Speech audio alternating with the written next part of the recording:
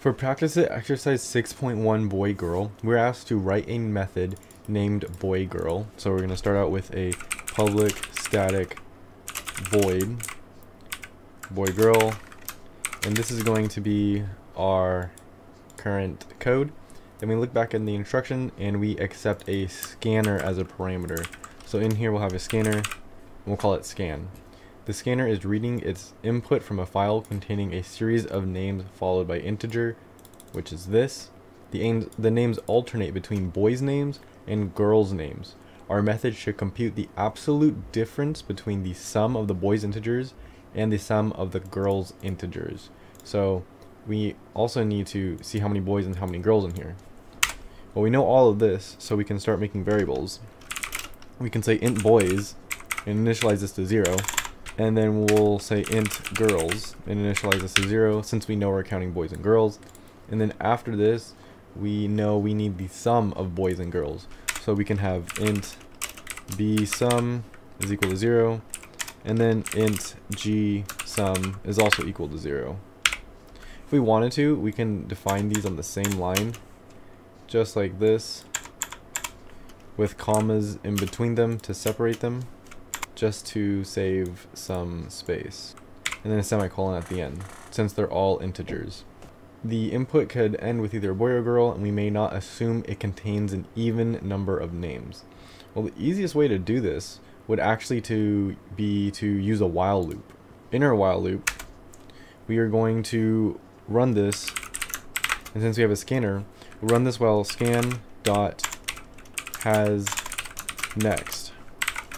So we're going to run this while the scanner has a next token, and we're going to analyze all of these tokens. In here, the first thing that we need to analyze is this string, the um, name of the person, but we're not really analyzing it. We're just we just need to know if it's a boy or a girl and we know it starts with a boy, then it alternates to a girl, starts with a boy, alternates to a girl, and so on and so forth.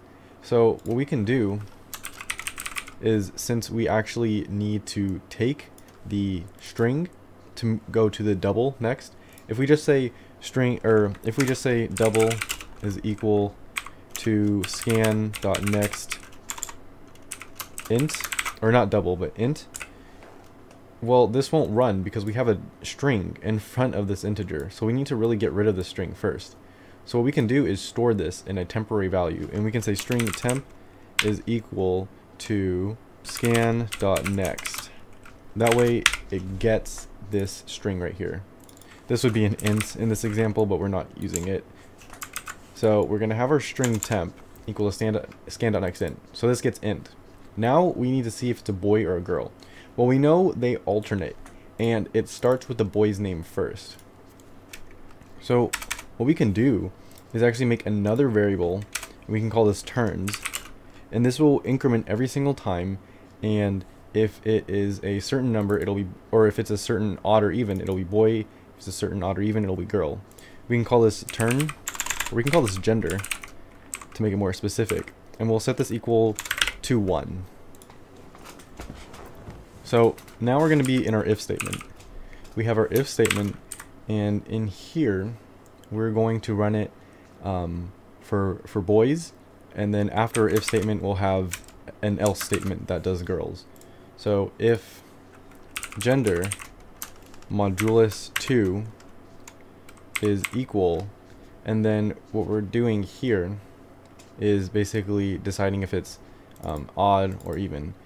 Um, and if um, let's say the gender is modulus 2 is equal to 1 that means that it has a remainder and since gender starts at 1 we are um, starting with the first Steve part um, we could if we wanted to we could say this is equal to 0 and this is equal to 0 it doesn't matter we're just going to stick with 1 for this example so um, now we have to increment the amount of boys we have.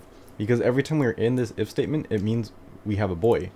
So we'll do boys plus plus. And after this, we are going to get the sum. And we're going to do this by using the plus equals operator.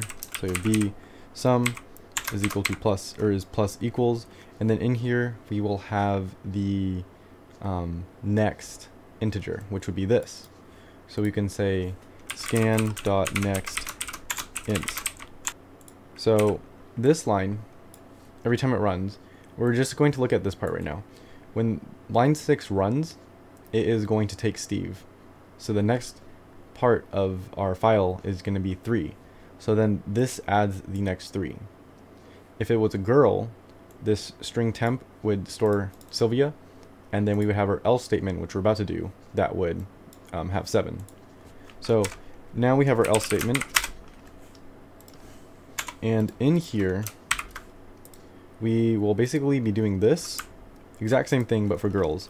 So we'll have girls plus plus, and then g sum, or the sum for the girls, plus equals, because we are adding um, to the previous amount is equal to scan dot next int.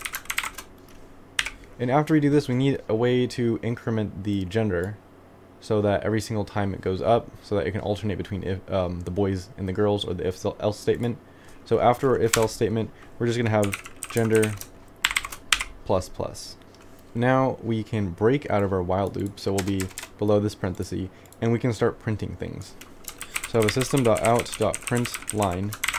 and in here we have to have this number, 4, which is the boys. So we'll have boys plus, which is really just appending two strings, or combining two string, and then we need this right here, space boys space.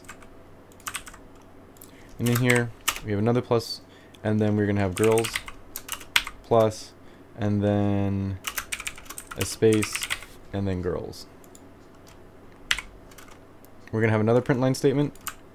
So just copy this.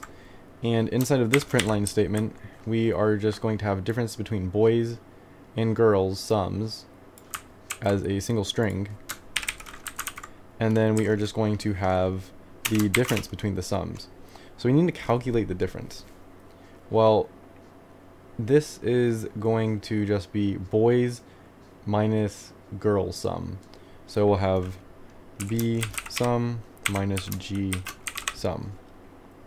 If we do this and submit it, we can see that, oh, right, since it is after this plus sign, it's getting confused with what this is, since this negative is a binary, um, or not binary, but since this negative is a math, and this plus is trying to um, make these two together, it's confusing it. So what we can do is actually do this outside of our system.out.println, and we can just do int total is equal to this. And then we can just write total in here. So if we submit this, we pass some tests and we have errors in others. If we look at this, we notice that our error comes from um, our result being negative. This is a super easy fix. All we need to do is change this to math.abs or math.absolute put our total in it, run this again, and then we will see that our total will now be an absolute value, so it'll always be even, and this gives us the correct output for this problem. So this is the code that will give us the desired output right here and pass all the tests for this problem.